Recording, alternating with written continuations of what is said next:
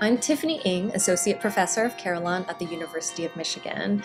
We're excited to welcome you to the 2021 Virtual University of Michigan Organ Conference.